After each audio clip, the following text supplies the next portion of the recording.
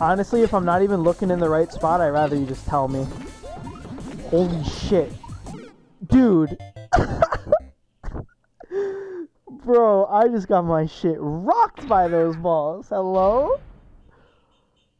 Lemmy's got some formidable balls, huh? I actually got put in the ball, Suki, Sukiyomi.